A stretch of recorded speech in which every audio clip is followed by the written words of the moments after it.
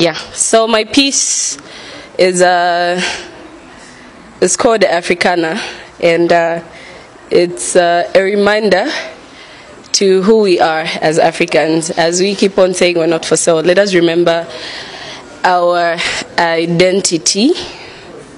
Yeah, along the way.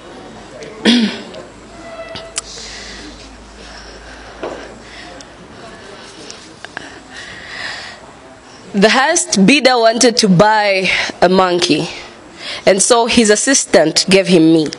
And this is what I had to say I am African, but I'm not a monkey, a gorilla, or a chimpanzee. Yes, we're custodians of the best wildlife.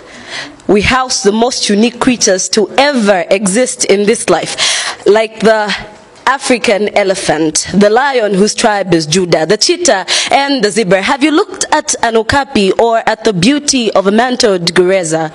We do not bite, we are depictions of congeniality. You should go back to learn your A's and B's and not those stories that they tell you about us because we are all about family trees. Roots are strong as a mukula and we only get stronger and better. Tulea tule kola. We're all about cultural diversity. We believe in unity. The spirit is Ubuntu. We hail from the land of the sun.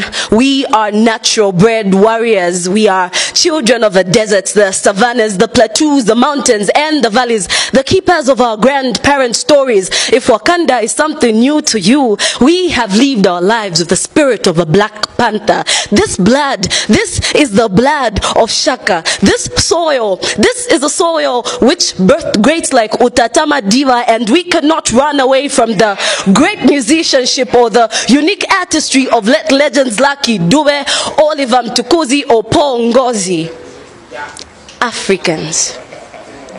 So we house the best minerals from the diamonds, the gold, the platinum, aluminium, the oils, and the gases from the copper belt to the city of gold. Why do you think they scrambled for Africa? We are a world which exists within a world and we do not believe in banting. We believe in wanting to eat what we want to eat and you're not a welcome guest in our house if we don't ask you to eat. We love our shisanyama, our kapenta with sadza or tutenembalala down south our jollof rice and the egusi soup in the west, our posho in the east, and we go all the way up north to taste koshari in Egypt. We are professionals of cultural, colored cuisines, as colorful as our clothes, as we cover ourselves in our dashikis, our kente, ankara, or colorful chitenges, as we do not forget to wrap ourselves in our beautiful head ties,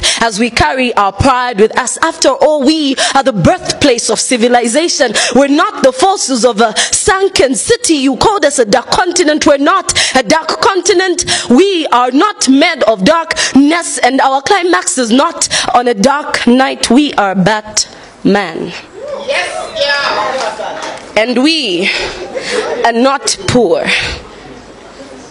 Maybe we just got in bed with you too early, which led to the launch of your global poverty prevention projects, the birth of your philanthropies. You see, leaving us only with aid or AIDS. Who needs chains for the 21st century slave? Because benevolence, slavery is a mind game which makes you believe that emancipation is just an ocean of imagination you can walk in but never get wet. And I can still hear them bidding, stop bidding. So the white man wanted, the white man bid the highest, and his assistant offered him me when he wanted a monkey. Did you think the assistant was white? He was black. Africa is not for sale.